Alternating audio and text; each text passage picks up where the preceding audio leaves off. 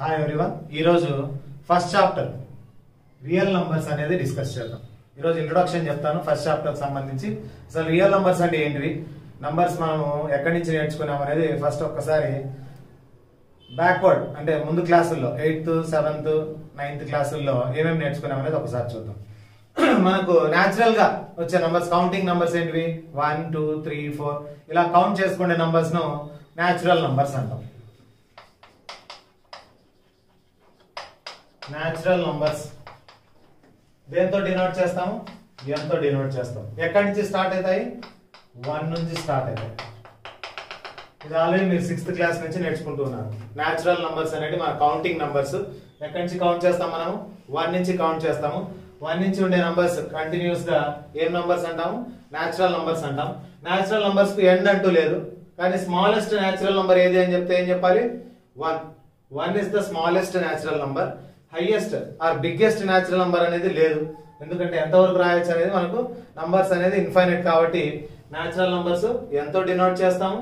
Smallest natural number is one ఈ natural నంబర్స్కు ఒక జీరో యాడ్ చేసేస్తే whole numbers whole numbers set అనేది దేంతో డినోట్ చేస్తాము?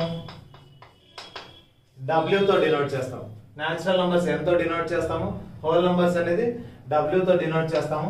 న్యాచురల్ నంబర్స్తో పాటు ఒక జీరో యాడ్ చేసుకుంటే అంటే జీరో నుంచి start zero one two three four and so on ఇవి హోల్ నంబర్స్. హోల్ నంబర్స్లో చిన్న నంబర్ ఏదని చెప్పాలి? జీరో న్యాచురల్ నంబర్స్లో చిన్నది?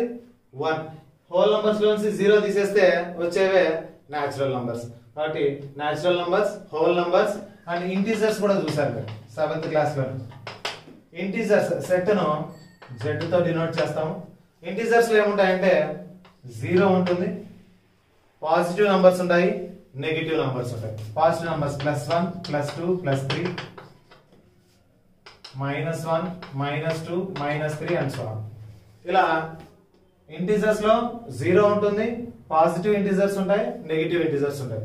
జీరో ఏమంటారంటే neither positive not negative Z star అని రాస్తాము.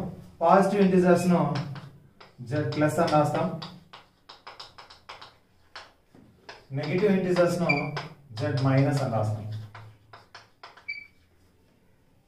Positive integers Z plus negative integers Z minus non positive non negative అంటే పాజిటివ్ కాదు నెగిటివ్ కాదు. అది వచ్చేసి జీరో జెడ్ స్టార్ అని రాసుకుంటాం.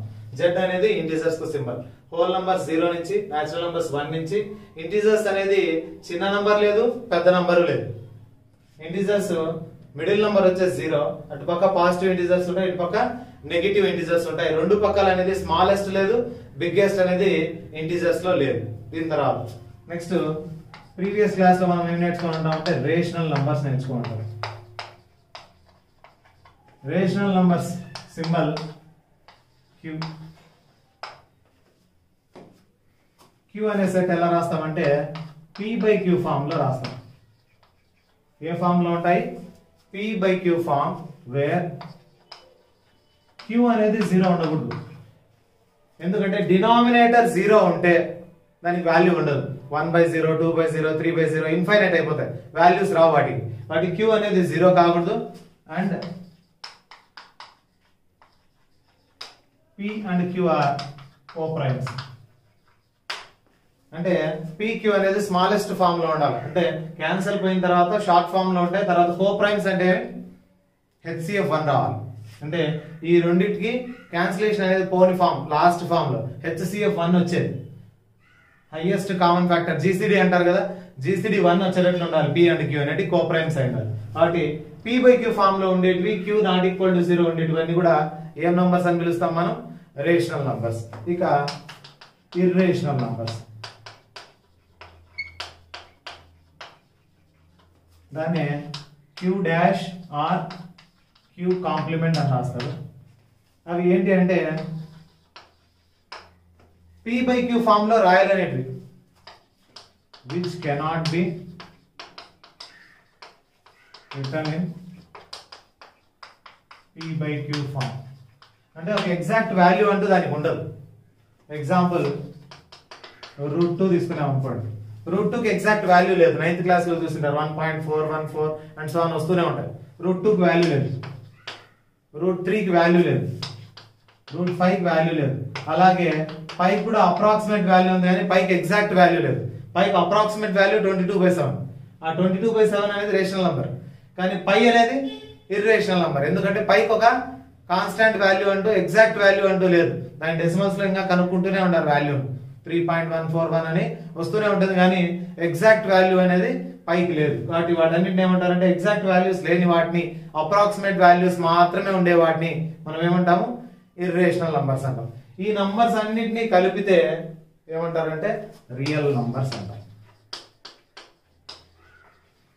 real numbers symbol R real numbers అనేటివి రేషనల్ నంబర్స్ను ఇర్రేషనల్ నంబర్స్ను అన్నిటిని యూనియన్ అంటే అన్ని కలిపి రాసేస్తే రేషనల్ ఇర్రేషనల్ అన్ని నంబర్స్ను కలిపితే ఏం నంబర్స్ వస్తాయి? రియల్ నంబర్స్ అనేటివి వస్తాయి. కాబట్టి ఇవన్నీ numbers real numbers real numbers కాని నంబర్స్ కూడా కొన్ని ఉన్నాయి. అంటే రియల్ వాల్యూ ఉండదు దానికి. వాటిని ఏమంటారంటే ఇది మీకు సిలబస్లో లేదు. ఇంటర్మీడియట్లో వస్తుంది ఇమాజినరీ నంబర్స్ అంటే ఎట్లుంటాయంటే రూట్ ఉంటుంది. ఫోర్ అయితే రూట్ ఉంది కానీ మైనస్ ఫోర్కు రూట్ లేదు. కాబట్టి ఫోర్కు రూట్ ఎంత? టూ. మైనస్కు రూట్ లేదు కాబట్టి ఇమాజిన్ చేసుకుంటాం ఐఎన్. అని ఫోర్కు root two. Root of minus minus one అని ఏం లేకపోతే. మైనస్ వన్కు రూట్ లేదు కాబట్టి ఐ అనుకుంటాం. దాన్ని imagine imaginary. Imaginary numbers. Real numbers కానివన్నీ ఏం నంబర్స్ అవుతాయి? Imaginary numbers. అంటే ఎగ్జాక్ట్ వాల్యూ కాదు. దానికి ఆన్సర్ అనేది ఉండదు అసలు. Minus one. Minus one root లేదు. అటువంటి అన్ని ఇమాజినరీ నంబర్స్ రేషనల్ నంబర్స్ అంటే పీ బై క్యూ ఫామ్లో ఉండేటివి. ఇర్రేషనల్ నంబర్స్ అంటే పీ బై క్యూ ఫామ్ కాదు. ఏమంటే వీటికి ఎగ్జాక్ట్ వాల్యూ ఉండదు అప్రాక్సిమేట్ వాల్యూ మాత్రమే ఉంటుంది. రేషనల్ ఇర్రేషనల్ రెండు కలిపితే రియల్ నంబర్స్ అయితే రియల్ నంబర్స్ కానివన్నీ కూడా ఇమాజినరీ నంబర్స్ అవుతాయి. ఇప్పుడు దీన్నే ఇప్పుడు చెప్పిన నంబర్స్ అన్నిటిని సబ్సెట్ లాగా రాస్తాయి. న్యాచురల్ నంబర్స్ అన్ని కూడా హోల్ నంబర్స్ అవుతాయి. కాబట్టి natural numbers is a subset of whole numbers whole numbers అన్ని ఏమవుతాయి ఇంటీజర్స్ అవుతాయి. ఇంటీజర్స్ అన్ని దేంట్లో ఉంటాయి? రేషనల్ నంబర్స్లో ఉంటాయి. రేషనల్ నంబర్స్ అన్ని రియల్ నంబర్స్లో ఉంటాయి. ఇది. న్యాచురల్ నంబర్స్ అన్ని హోల్ నంబర్స్లో ఉంటాయి. హోల్ నంబర్స్ అన్ని ఇంటీజర్స్లో ఉంటాయి. ఇంటీజర్స్ అన్ని రేషనల్ నంబర్స్లో ఉంటాయి. రేషనల్ నంబర్స్ అన్ని కూడా రియల్ నంబర్స్లో ఉంటాయి. రియల్ నంబర్స్ కానివన్నీ కాంప్లెక్స్ నంబర్స్. దీన్ని వెన్ డయాగ్రామ్ ఫామ్లో చూపించామన్నాడు అనుకోండి ఇవి న్యాచురల్ నంబర్స్ అనుకున్నాం ఈ న్యాచురల్ నంబర్స్ అన్ని ఎందులో ఉన్నాయి? హోల్ నంబర్స్ ఇవన్నీ హోల్ నంబర్స్ ఈ హోల్ నంబర్స్ అన్ని ఇంటీజర్స్ ఇంటీజర్స్లో ఉన్నాయి. ఇవన్నీ ఇంటీజర్స్ ఈ ఇంటీజర్స్ అన్ని రేషనల్ నంబర్స్లో ఉన్నాయి ఈ రేషనల్ నంబర్స్ అన్నీ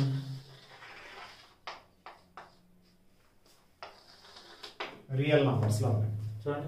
న్యాచురల్ నంబర్స్ అన్ని హోల్ నంబర్స్లో ఉన్నాయి. హోల్ నంబర్స్ అన్ని ఇంటీజర్స్లో ఉన్నాయి. ఇంటీజర్స్ అన్ని రేషనల్ నంబర్స్లో ఉన్నాయి. రేషనల్ నంబర్స్ అన్ని కూడా రియల్ నంబర్స్. ఇవన్నీ రేషనల్ నంబర్స్. మిగిలినవన్నీ ఇర్రేషనల్ నంబర్స్. ఈ మధ్యలో ఉండేదంతా ఇర్రేషనల్ పార్ట్ ఇక్కడ వరకు రేషనల్ నంబర్స్ ఇవన్నీ. ఈ మిగిలిన పార్ట్ ఉంది కదా? ఇదంతా ఇర్రేషనల్ నంబర్స్ అని చెప్పుకోవచ్చు మనం. పైన రియల్ నంబర్స్ రాసుకున్నాను. ఈ మధ్యలో మిగిలిపోయిన పార్ట్ మాత్రమే. ఈ మిగిలిన పార్ట్ మాత్రం ఇంతవరకు రేషనల్ నంబర్స్ అంటే రేషనల్ నంబర్స్ కానివన్నీ ఏమవుతాయి ఇర్రేషనల్ నంబర్స్ అయితే. కాబట్టి మనం రియల్ నంబర్స్ ఏం రాయొచ్చు అంటే rational numbers union irrational numbers అని రాయొచ్చు. ఇవి టైప్స్ ఆఫ్ నంబర్స్. ఇవి న్యాచురల్ నంబర్స్ అంటే whole numbers integers rational numbers irrational numbers. దీని తర్వాత రేషనల్ నంబర్స్ను ఏ ఫామ్లో రాయొచ్చు మనం?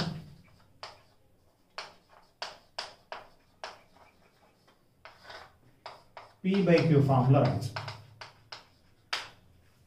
పి బై క్యూ ఫామ్లో రాసిన తర్వాత ఆ నంబర్స్ను డివైడ్ చేయడం వల్ల రెండు రకాలుగా వస్తాయి నంబర్స్ డివైడ్ చేస్తే దీంతో డివైడ్ చేసినప్పుడు టర్మినేటింగ్ అవుతాయి అంటే ఎండ్ అవుతాయి. రిమైండర్ జీరో వచ్చేసేటివి. ఎండ్ అయిపోయి రిమైండర్ జీరో వస్తుంది. టర్మినేటింగ్ ఉంటారు రిమైండర్ జీరో రాకుండా అట్లే వస్తుండేటివి.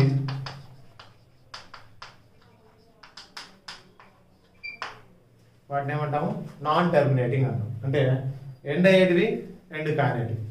టెర్మినేటింగ్ టెర్మినేటింగ్ డెసిమల్స్ ఏ ఫామ్లో ఉంటాయంటే? One by